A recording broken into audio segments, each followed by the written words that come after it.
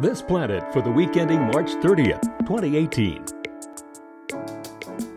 The vast accumulation of plastic pollution known as the Great Pacific Garbage Patch contains three to six times more floating plastic than previously thought.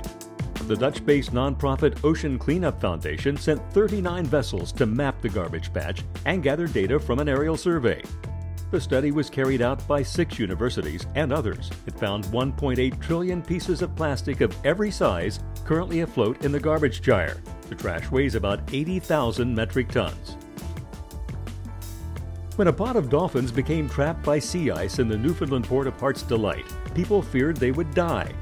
The Coast Guard couldn't free them because of the harbor's shallow water. So the town's fire chief came to the rescue, driving his excavator to the wharf and scooping out a channel that allowed the marine mammals to escape.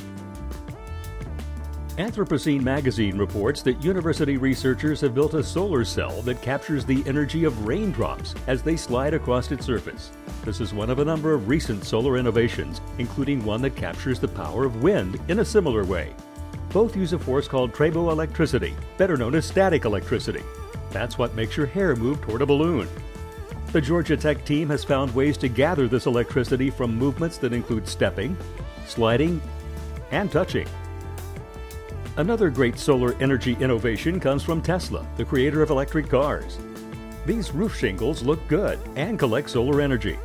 The company began producing the tiles earlier this year. For This Planet, I'm Steve Newman.